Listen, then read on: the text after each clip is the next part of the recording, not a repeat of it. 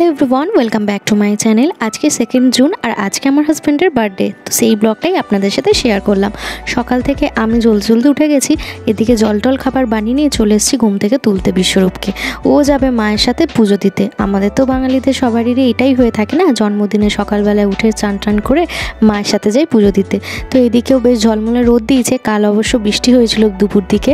আজকে ভালোই রোদ উঠেছে। এই চলুন, ওকে উঠিয়ে নিই। বিশ্বরূপকে অনেকক্ষণ ধরেই বলছি, উঠে পড়তে, কিন্তু উঠছে না। ও আসলে কালকে রাতে অনেক রাত পর্যন্ত কাজ করেছে, তাই ঘুমিয়ে গেছে।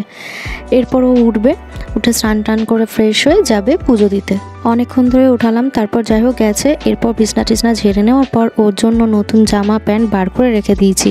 আর ততক্ষণে মা বলল, সবজিগুলো কেটে নিই, এসে তাড়াতাড়ি রান্নাটা বসাতে হবে। মারা যতক্ষণে পুজো দিতে যাচ্ছে, ততক্ষণে আমি এখানে মাছগুলো ধুয়ে ভালো করে মাছগুলো ভেজে নেব আর কিছু সবজি, যেমন পটল ভাজা, আলু ভাজা, ভেন্ডি ভাজা, এগুলো ভেজে রাখব।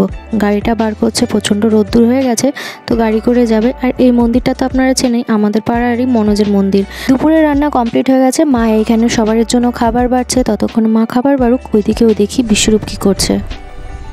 কি করছ তুমি কেমন ফিল লাগছে জন্মদিনের? ওয়াও ওয়াও লাগছে। ওয়াও লাগছে? প্রথমে ওকে মা আর বাবা দুজনেই পায়েসটা খাইয়ে দেবে, তারপর আমরা সবাই মিলে পায়েস খেতে পারব।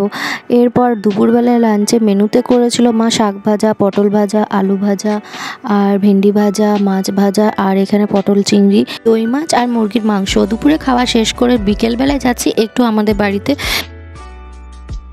এদিকে আমার বোন একটা ছোট্ট কেক কিনে নিয়ে এসে সেটা ডেকোরেট করে সাজিয়েছে আর বেলুন দিয়ে তো সাজাতে পারবে না কারণ গোলা তো খুব ভয় পায় আগের ভিডিওতেই আমার দেখেছেন ও বেলুনকে কত ভয় পায় তো আমরা যাওয়ার পর আমাদেরকে দেখে ও একটু এক্সাইটেড হয়ে গেছিল এরপর বসে বসে হাঁপাচ্ছে এখানে ক্যান্ডেল জ্বালিয়ে দিলাম ওর বাপির কাছে ও বসে গেল এরপর বাবার সাথেও কেক কেটে নেবে Happy to you happy Happy birthday to you.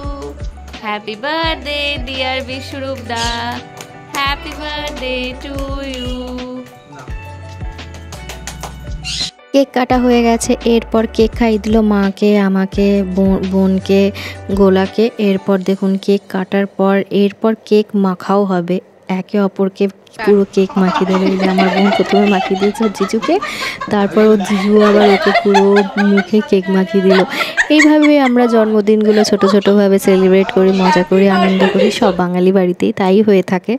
তো আজকের ভিডিওটা এখানে শেষ করলাম। দেখা হচ্ছে পরের দিন অন্য একটা ব্লগের সঙ্গে। ভালো থাকবেন, সুস্থ থাকবেন। টাটা!